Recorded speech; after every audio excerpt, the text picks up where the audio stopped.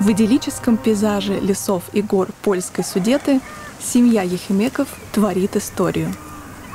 На первый взгляд, семья из четырех человек живет на обычной ферме, но на самом деле за этим кроется гораздо больше. Казимеш Йохимек, проработавший в угольной отрасли 8 лет, искал радикальных изменений в своем образе жизни. В 1985 году он купил 150 гектаров земли по низкой цене, и начал заниматься органическим сельским хозяйством с нуля. Он выращивает овощи, фрукты, разводит лошадей, овец, кур, кроликов и крупный рогатый скот.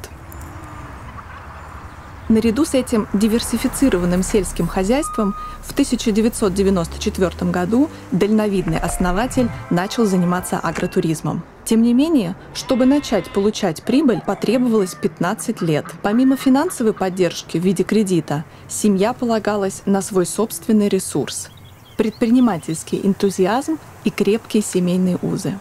Казимеш Йохимек лично обучался органическому сельскому хозяйству и сотрудничал с муниципальными властями.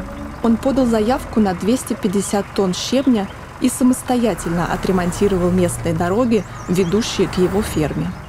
Его жена получила экономическое образование, а сыновья – в области зоологии и менеджмента.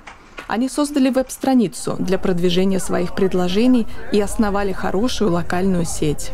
Сегодня Экобайка является образцовой фирмой региона, отмеченной наградами – она предлагает чрезвычайно разнообразный ассортимент высококачественной еды и может разместить до 8 семей в 7 домах и одной квартире. Все элементы фермы и агротуризма дополняют друг друга. Местные и иностранные туристы наслаждаются природой и общаются с животными. Вместе с тем продвигаются идеи органического земледелия и ведения здорового образа жизни. Уникальная история успеха семьи Ехимек может стать источником вдохновения для других фермеров по всей Европе.